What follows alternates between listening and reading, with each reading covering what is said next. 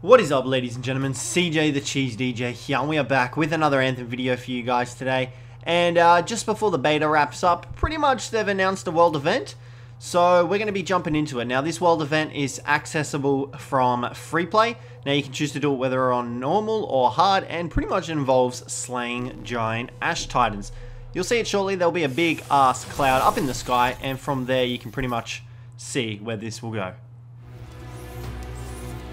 Alrighty guys, and you can see here, this is what they look like. The Ancient Ash Titan. These are the guys that come out of the Cataclysm event.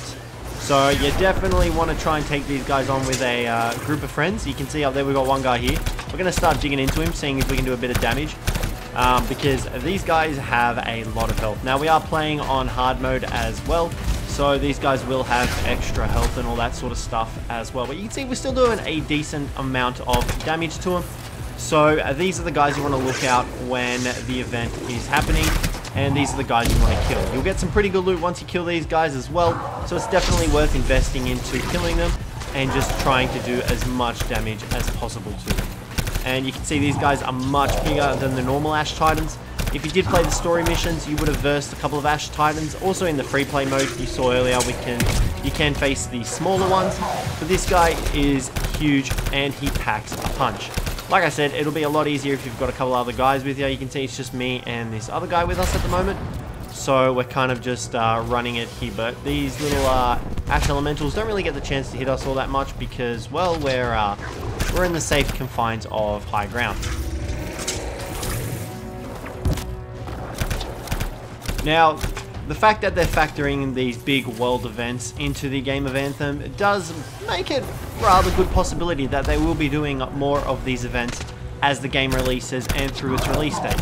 You know, these events might actually change the way of the map because as far as I've been able to tell, this may be the only map that we have. So, you know, that's a good change for the game because if the map gets decimated by a huge firestorm that this storm has caused, or that there are actual like ancient meteors that are sprouted from the ground now because they've just landed into the earth from the storm.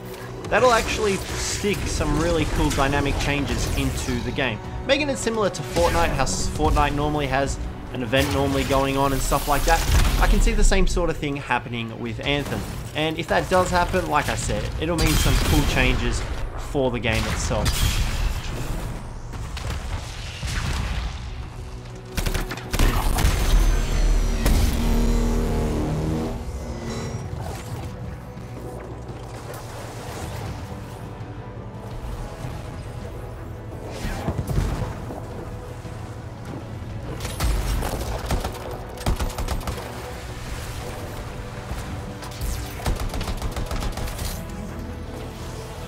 So guys, do keep an eye on Anthem as it releases. We will be covering it on the channel as well, as you probably have guessed.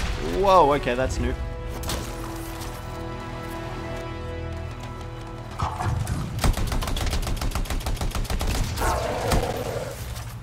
But yeah, the fact that they will be releasing these world events throughout this release of the game, and I will be guessing that they will be probably weekly, maybe even two weekly sort of event things that happen means that I've got high hopes for the game. When it first released, when I first started seeing footage for it, it was, um, I was a bit hesitant, but now that I've played the demo and everything like that, I feel a little bit better about it. Um, except for the beta, because you just get enemies randomly despawning, like the giant Ash Titan.